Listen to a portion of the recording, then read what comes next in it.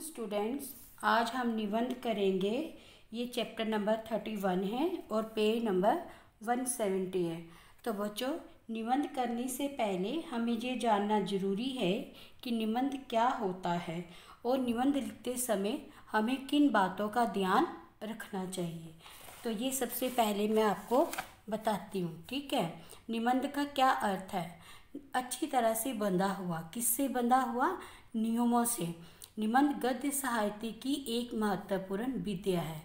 तो बच्चों, निबंध लिखते समय हमें किन बातों का ध्यान रखना चाहिए? निम्नलिखित बातों का ध्यान रखना चाहिए। निबंध के विषय के बारे में पूरी हमें जानकारी होनी चाहिए। हमारी भाषा सरल, सुबोध तथा प्रभावशाली होनी चाहिए। भाषा विषय के अनुरूप होनी चाहिए। निबंध की हमारी जो शुरुआत है, वो अच्छी होनी चाहिए। निबंध के अंतिम अनुच्छेद में विषय का निचोड़ प्रस्तुत किया जाना चाहिए। तो बच्चों, निबंध के मुख्य तीन भाग होते हैं। सबसे पहले हम जो आरंभ शुरू में लिखते हैं, जिसको हम प्रस्तावना भी कहते हैं, उसके हम नीचे मिडिल पार्ट जो हमारा मध्य भाग होता है, उसमें हम विस्तार से लिखते हैं, जहाँ अपने पॉइंट्स बनाकर भी लिखते हैं। उपसार सबसे अंत में, जिसको सार भी कहते हैं, निचोड़ भी कहते हैं। आरंभ में हम क्या करते हैं? विषय का परिचय दिया जाता है। ठीक है, इसका आकर्षक होना आवश्यक होता है। मध्य भाग में हम विस्तार से लिखते हैं, जहाँ हम विषय से संबंधित बिंदुओं को पॉइंट्स को बनाकर लिखते हैं। उपसार अंत में विषय का निचोड़ प्रस्तुत किया जाता है। तो बच्चों, ये समझने के लिए था। ये आपके सिलेबस में नहीं है। ये समझने के लिए था। कुछ बच्चे अपने मन से लिखते हैं। जब वो लिखेंगे तो इन बातों का ध्यान रखेंगे तो वो अपने मन से भी अच्छा ऐसे बना सकते हैं। तो बच्चों आ जाओ पहला ऐसे ऐसे नंबर वन है हमारा। ये फ़र्स्ट टर्म में, लिख दो, फ़र्स्ट टर्म। ठीक है?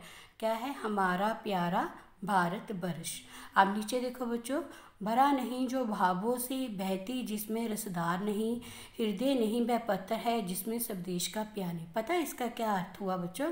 कहते हैं, जिस मनुष्य के हृदय में अपने देश के प्रति प्यार नहीं है, अपने देश के प्रति अच्छे भाव नहीं है तो वह कठोर दिल वाला है। समझेंगे तो हमारा भारत देश महान है। ये तो आपको पता ही है ना बच्चों, ये सुंदर भी है, ये हमारी मातृभूमि है, जहाँ पे हमने जन्म लिया हुआ है। इस देश में बहुत से महापुरुषों ने जन्म लिया है।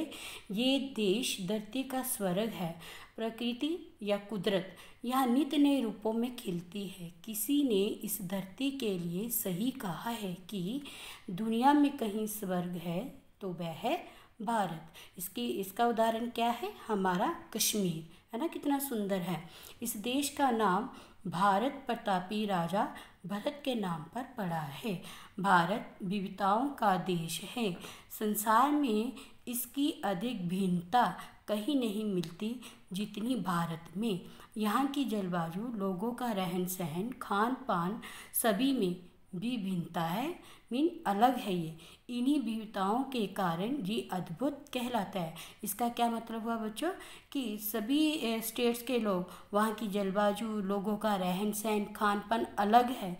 लेकिन अनेकता होते हुए भी मेरे भारत में एकता है। उतना ही, इतना ही नहीं, सभी प्रकार के प्राकृतिक सौंदर्य और वैभव से संपन्न हमारा देश सब संसार का सबसे बड़ा जनतंत्र भी है। तो बच्चों, ये लाइनें थोड़ी टफ हैं, ये आप छोड़ भी सकते हो। अब यहाँ से आ जाओ। संविधान, यहाँ से शुरू कर लो। यहाँ से मैम ने पेंसिल से टिक लगाया है। संविधान की दृष्टि से सभी समान हैं। हिंदी इस देश की राष्ट्रभाषा है, जो लगभग संपूर्ण पूरे देश में बोली जाती है। गंगा जमुना सतलुज ब्यास रावी, कृष्णा, गोदावरियाँ आदि नदियाँ इसे हरा भरा बनाती हैं। ये भूमि संतों और महात्माओं की भूमि भी है। राम और कृष्ण की जन्मभूमि है। इस भूमि पर कृष्ण ने अर्जुन को कर्म करने की प्रेरणा दी थी।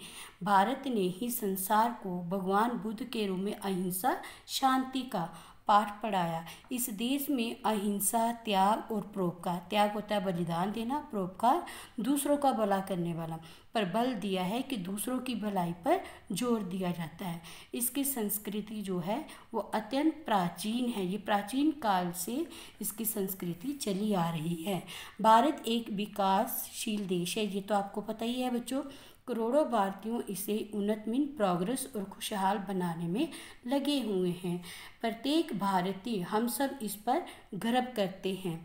तो हमारा देश शांति में विश्वास रखता है तथा साथ ही साथ निशास्त्रीकरण का भी पक्षपाती है। सर्वजन, सब लोग हिताय इसके हित के लिए और सर्वजन, सब लोग सुखाए इसके सुख की भावना में हम भारतीय विश्वास रखते हैं। सदैव में सदा ईश्वर से हम यही प्रार्थना करते हैं कि देश का गौरव बढ़ाने में, शांति बनाए रखने में हम भारतीय सदा प्रयत्नशील रहे। तो बच्चों, ये आपने कॉपी पे नहीं लिखना है। इसको आपने तीन चार बार पढ़ना है।